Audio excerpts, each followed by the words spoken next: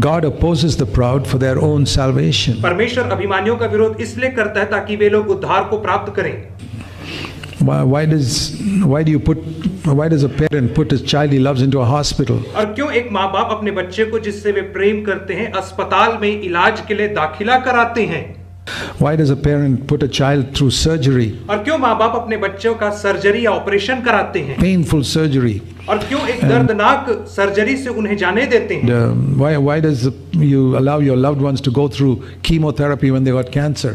It's a very very painful process. और क्यों आप अपने प्रिय लोगों को कीमोथेरेपी से जब उनको कैंसर होता है तो उससे गुजरने देते हैं जो बहुत ही दर्दनाक होती है Why why do some people who got gangrene in their leg, the loved ones told to tell the doctor cut off that foot?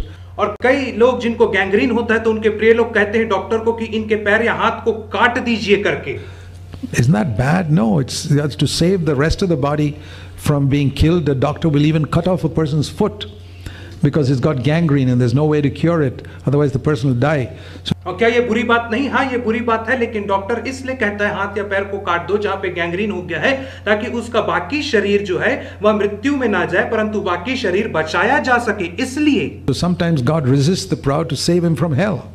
और इसीलिए कई बार परमेश्वर अभिमानियों का विरोध करता है ताकि उसे नरक से So that's a बचाए good thing. It's a mark of love. और ये अच्छी बात है एक प्रेम का चिन्ह है ये It's um, if you know if a house is on fire and your chap is sleeping on a bed and you say, "Please get up, please get up," and he doesn't get up, shake the bed and throw him off the bed. That's the mark of love because the house is on fire.